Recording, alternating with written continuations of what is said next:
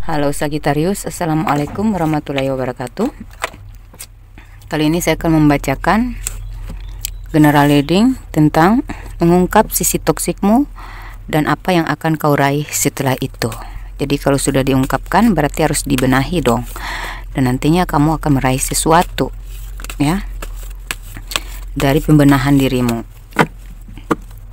Ya. Jadi kita jangan selalu mengatakan orang oh dia orang toksik dia tuh toksik ya toxic people. Tapi cobalah kita gali lagi diri kita. Karena dalam diri kita tuh masih ada loh. Memang ada gitu. Ada juga loh sifat toksik kita. Di dalam diri setiap manusia tuh ada aja yang sifat toksik yang tidak dia sadari. Makanya harus digali. Ya kalau kalian pengen konsultasi reson pengen resonate di kamu doang ini kan energi umum jadi energi banyak orang ya. Hmm, kalau pengen resonate di diri sendiri ya konsultasi pribadi aja. Mau tanya-tanya soal cinta karir maupun keuangan dan hal magic silahkan ya. Tanya-tanya dulu harganya berapa gitu. Sesuaikan dengan budgetmu. Kalau belum ada budget ya diam aja dulu. Yang penting udah tanya kan udah tahu harganya nggak nggak mahal kok ya. Murah. Ya karena tujuan saya di sini untuk menjalankan misi jiwa. Ya jadi lebih membantu makanya saya murahin-murahin aja harganya. Yang penting bisa memotivasi orang mencerahkan orang itu sudah puas saya. Ya jadi masalah si pribadi apa pun aman di sini. Mau orang penting ke orang biasa ke bagi saya semuanya penting. Terutama masalah pribadi kalian itu penting banget ya untuk dijaga. Itu udah tanggung jawab kami sebagai tarot trader dunia wal akhirat. Jadi jangan malu-malu jangan ragu-ragu. Daripada kalian curhat ke teman tapi nggak semuanya bisa kamu expose. Nggak semuanya bisa kamu open ya. Karena bisa saja itu jadi bumerang buat diri sendiri ketakutan kekhawatiran ya. Tapi kalau di alternatif seperti kita ini kan memang udah pekerjaan kita tugas kita. Jadi nggak usah takut masalah si pribadi apa pun si memalukan apa pun harus diungkapkan. Ya karena kamu harus menemukan dirimu jadi harus diungkapkan. Jangan ada yang ditutupi itu sudah tugas kita ya. Sebagai tarot trader untuk menggali ketoksikan dalam diri kamu yang harus kau rubah supaya kamu bisa menemukan cahaya.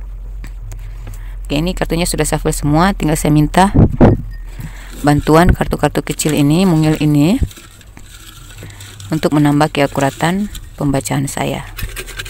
Memudahkan saya juga ya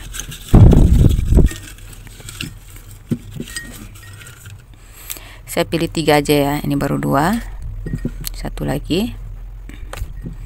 Oke. Ini ada pelangi ada gelisah. Ini ada di dalam dirimu ada keajaiban wah doa doa dan air mata. Wah. Ada apa denganmu guys? Mari kita buka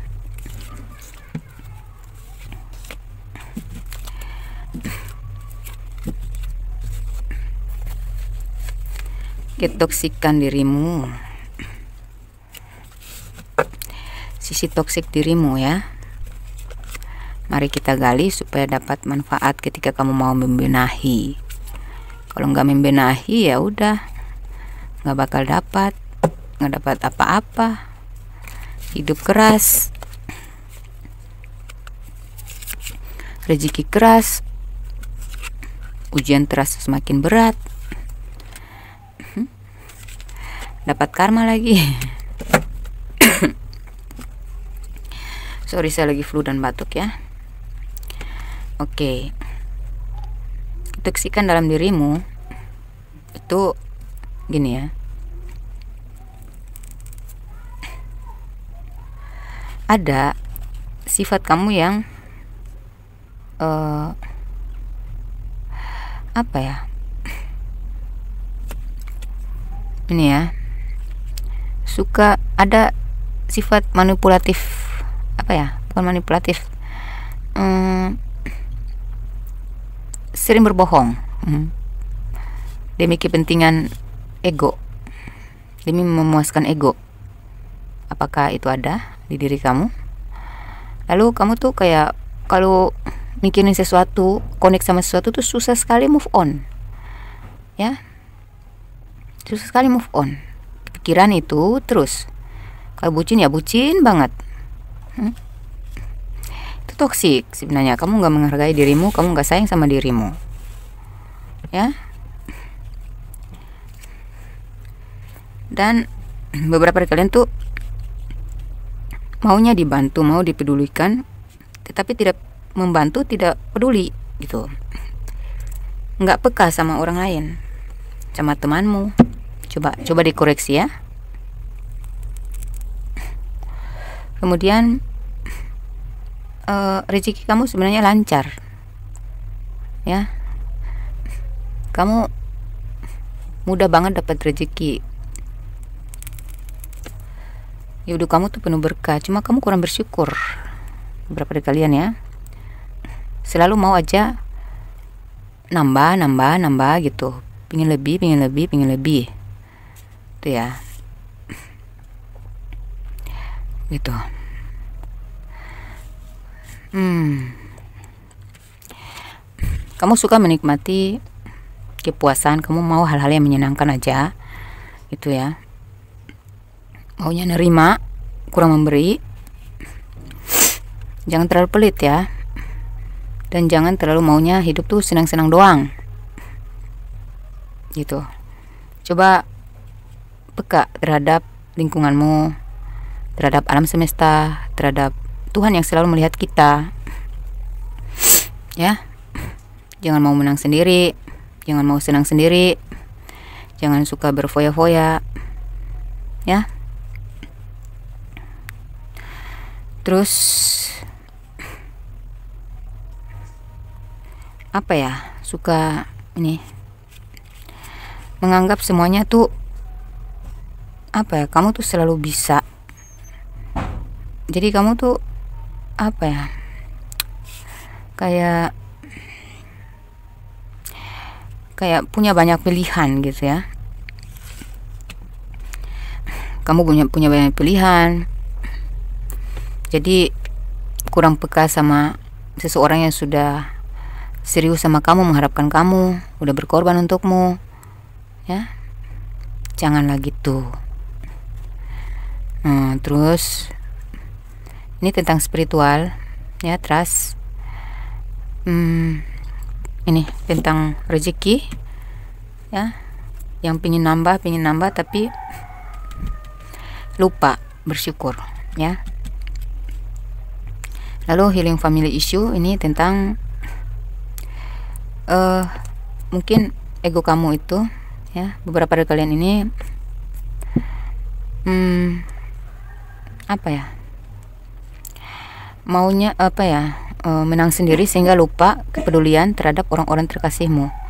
Misalnya anakmu butuh apa kamu lagi healing lagi senang-senang sama sesuatu lagi asik nelpon sama seseorang kamu lupa bahwa adikmu mungkin butuh perhatian, anakmu butuh perhatian, saudaramu atau siapa pun yang lagi sakit. Coba kalau kamu uh, menerima telepon atau berbincang-bincang dengan orang, coba perhatikan orang-orang yang tidak berdaya di dalam rumahmu. Orang-orang yang membutuhkan perhatian kamu, kasih sayang kamu. Kamu boleh sayang orang lain, tapi lebih terutama harus sayang keluarga kamu karena harta yang paling berharga itu adalah keluarga gitu ya mari kita cek ini kartu kamu baik-baik semua nih. Nanti hasilnya bakal baik semua. Ini ada Wheel of Fortune ada soulmate ada it is safe for you to love ya. Kamu ada dapat perlindungan dong. Jangan suka gelisah sama hal-hal yang uh, ya itu tadi. Kamu ini berhubungan ya. Sulit move on. Hmm, hindari kegelisahan yang enggak berarti ya karena kalau kamu bisa move on kamu akan melihat betapa luasnya dunia ini dan betapa indahnya ya betapa berwarnanya hidup ini. Jadi jangan stay di situ, di situ doang. Kalau kamu disakitin kamu berdiri dengan orang yang toksik ini ada snake ya. Orang yang udah jelas-jelas mempermainkan kamu.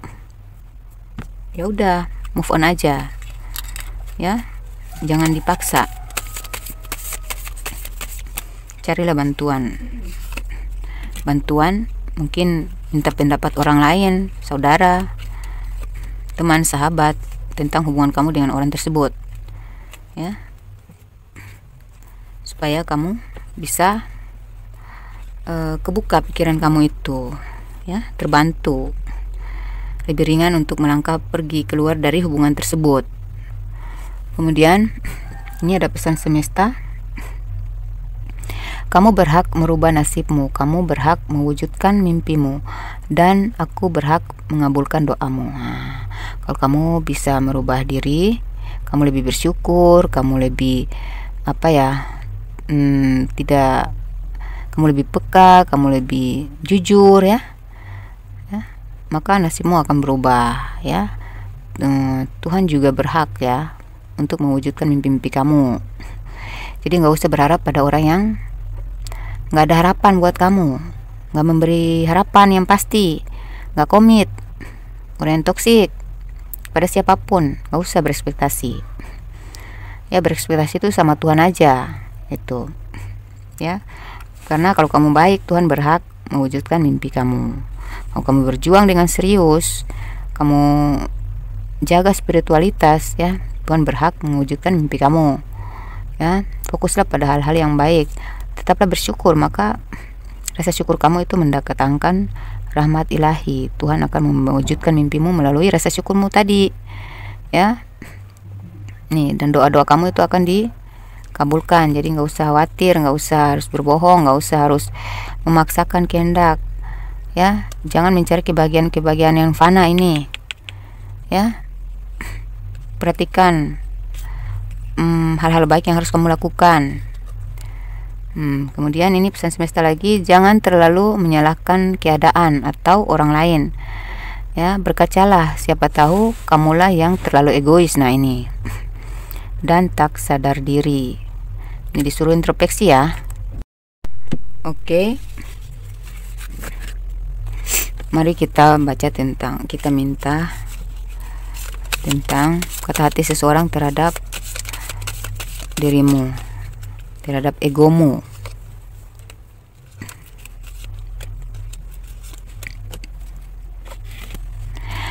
Kuakui diriku memang egois. Jika waktu dapat diulang, aku takkan lakukan itu padamu.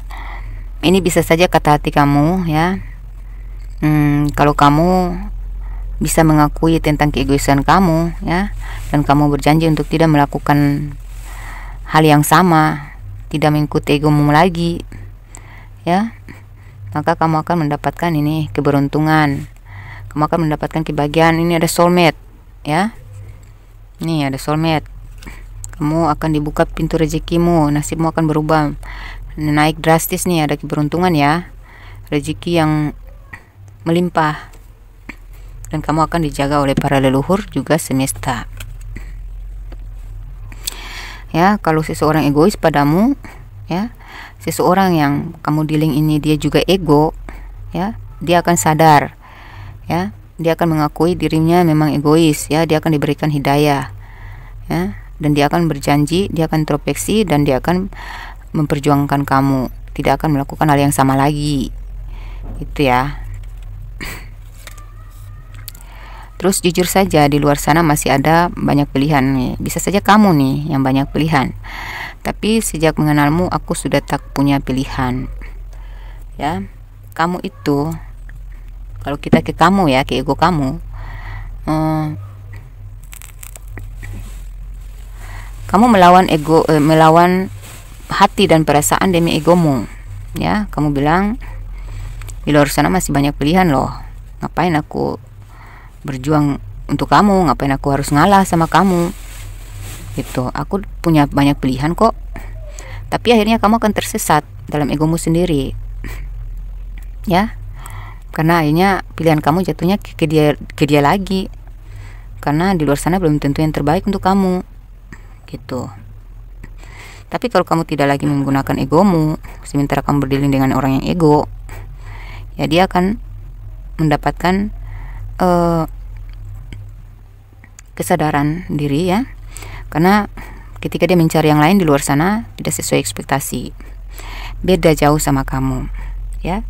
Karena sejak memang dia di, di luar sana memang banyak pilihan. Dia bisa dealing sama siapa aja.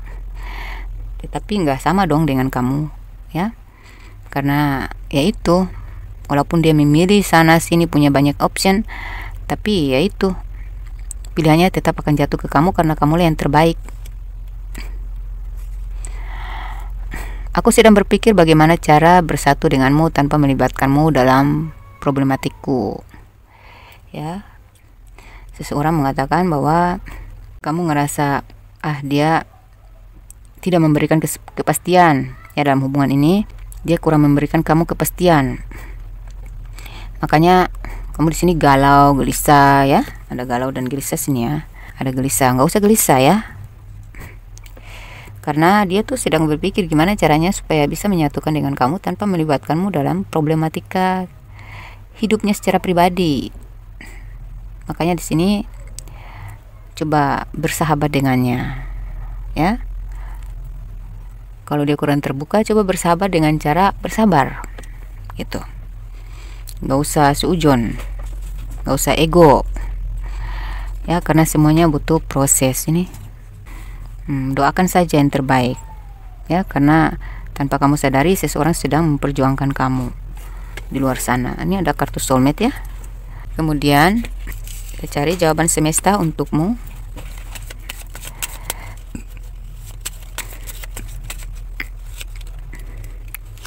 Ambil tiga aja ya.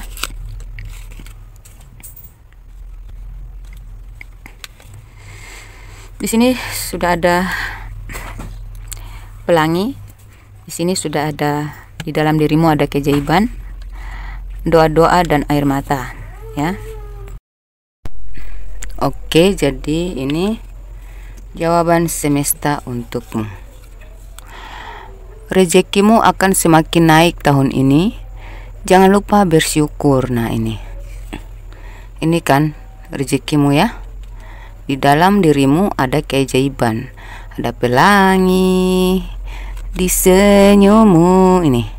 Ya, ada pelangi. Jadi kalau kamu mampu menanggalkan, meninggalkan, menghempaskan semua ketoksikan dalam diri kamu, kalau kamu berhasil ya mengorek semua uh, ketoksikan dalam diri, kamu akui bahwa Eh, di dalam diri kamu yang kamu anggap baik itu ternyata ada toksiknya juga karena kamu manusiawi kamu karena kamu manusia ya manusiawi lah ya jadi kalau kamu berhasil menghempaskan semua ketoksikan diri lolos dari melolos selalu berhasil meloloskan diri dari ego ego negatif maka rezekimu akan semakin naik tahun ini ya. Jadi jangan lupa bersyukur dong ya. Ini trust tentang kepercayaan ya. Keimanan spiritual. Spiritualitas berarti tentang keyakinan. Yakin saja sama Allah serahkan saja kepadanya pemilik alam semesta ya dan penguasa atas segala kebaikan kerahmatan ya. Nah ini ini rezeki ya. Jadi rezeki ya, ya mungkin kamu akan kaget nanti rezeki yang datang setelah kamu mampu mengupas semua ketoksikan dalam diri dan menghempaskannya dari diri kamu agar dan supaya kamu tuh nggak lagi menggunakan ego ego mengikuti ego ego negatifmu ya kadang tuh kita nggak sadar ya kenapa rezeki kita selalu tertunda atau hidup kita sering mandek. Mungkin dari sikap-sikap negatif kita lah yang membuntukan jalan kita atau menghalangi kita dari cahaya. Ya cahaya itu kalau sudah sudah menyinari kita otomatis kan kita akan connect banget sama hal-hal baik gitu kan tapi kalau ego kita ego negatif kita turuti terus otomatis kebuntuan yang ada dan bakal uh, gelap gulita hidup kita. Ya gelap gelap lah ya dari cahaya. Kita ya gelap itu kan berarti tidak ada cahaya. Gimana kita bisa menjemput rezeki cahaya yang saya maksud di sini kesucian diri ya. Gitu. Kalau kita bersih dari segala hal-hal negatif otomatis hal-hal baik hal-hal positif itu akan mendekat. Hal-hal positif itu apa? Ya itu tadi ini. Tentang rezeki ya tentang ke hal-hal baik lah ya. Gitu. Kemudian sini mereka yang pernah menyakitimu akan merasa malu dan ingin datang dan minta maaf padamu. Nantinya kalau kamu sudah banyak rezekin ya hmm banyak orang yang beberapa dari kalian tuh jika ada yang pernah menyakiti kamu pasangan kamu ke saudara kamu ke teman kamu ke tetangga kamu ke ya tetap akan datang minta maaf padamu ya. Kemudian kamu akan lebih hebat dari orang-orang hebat. Nah nantinya orang yang kamu anggap hebat tadi ya yang kamu denial uh, mungkin kamu kamu sebenarnya melihat orang itu memang hebat tapi kamu menolak gitu ya bahwa ah udahlah karena ego kamu nih ya karena ada sifat toksik juga dalam diri kamu jadi kamu sering bilang gini ah dia kurang hebat ah dia payah padahal sebenarnya uh, harusnya kita senang dengan pencapaian seseorang atau kehebatan seseorang kali aja ya kita mengambil pelajaran dari dia kenapa bisa dia menjadi orang hebat. Itu kan kita menjadikan dia sebagai uh, panutan gitu kan. Uh, gimana dia cara dia menjadi hebat kan. Ya kita cari tahu gitu ya kenapa dari mana dia berjuang dari mana dia berproses bagaimana gitu kan. Nah ketika kamu sudah mulai menanggalkan meninggalkan menghempaskan semua ketoksikan dalam diri pikiran kamu mulai terbuka ya. Uh, kamu mulai diberikan cahaya tuntunan sehingga kamu menemukan menemukan petunjuk-petunjuk atau lebih mendengarkan intuisi untuk mengembangkan diri, meningkatkan value ya. Dan akhirnya kamu menjadi orang yang berkualitas dan kamu perlahan-lahan menjadi orang hebat dari orang-orang yang kamu anggap hebat tadi. Yang tadi kamu denial ketika kamu sudah mulai ke apa ya? Hmm, menghapus semua ego semua ketoksikan dalam diri akhirnya kamu mengakui bahwa memang dia hebat sih saya akui ya. Ya saya akui memang dia hebat. Saya ingin menjadi seperti dia.